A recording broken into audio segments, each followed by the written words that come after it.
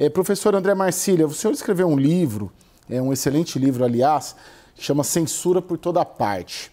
É, ali o senhor traça, enfim, toda a trajetória ali de inquérito das fake news e todo esse debate que você acompanhou é, de perto.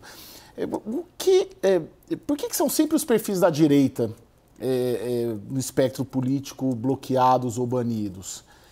É porque esses perfis cometem mais, vamos dizer, crimes, entre aspas, ou transcendem mais a legislação, ou é porque, de fato, é, há um confronto real é, da direita com o judiciário brasileiro?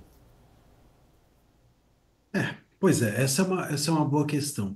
Na verdade, é, a gente fala em fake news, discurso de ódio, como é, estava se anteriormente falando, é, ou um, é, essas questões todas envolvendo esses conceitos relativamente novos, e nós não temos ainda uma legislação que suporte esses conceitos. Então, esses conceitos ficam ainda dentro de uma subjetividade, essa subjetividade fica um pouco como um cardápio para um juiz ou para uma autoridade do executivo tomar providências contra determinadas pessoas.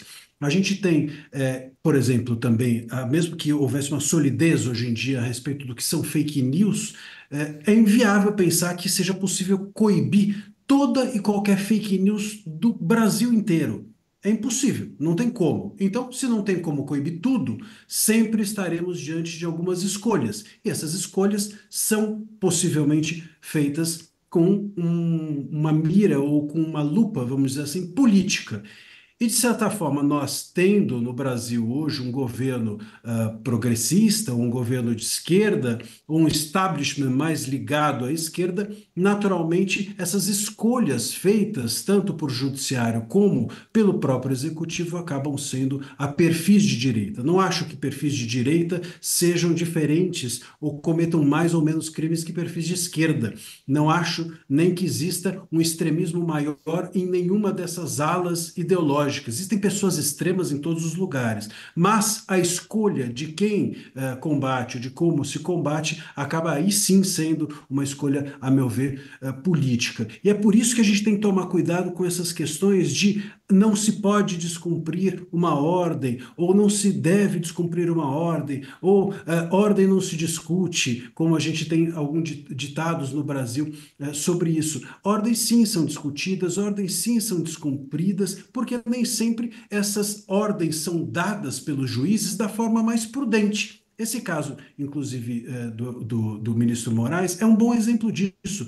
Veja, é, a gente tem milhões de possibilidades. Ele hoje, inclusive, escolheu uma das possibilidades, que foi bloquear recursos da Starlink. Ainda que essa seja, entendo eu, uma decisão equivocada do ponto de vista técnico, mas você bloquear recursos do Musk é muito menos nocivo do que você bloquear o, servi a, a, o serviço do X e prejudicar 22 milhões de usuários. Então, decisões, as decisões precisam ser prudentes. É por isso que, inclusive, chama-se jurisprudência. Os juízes precisam ser dotados de prudência, assim como as partes têm de ser dotadas de bom senso para estabelecer um jogo é, jurídico dentro do ambiente do direito adequado.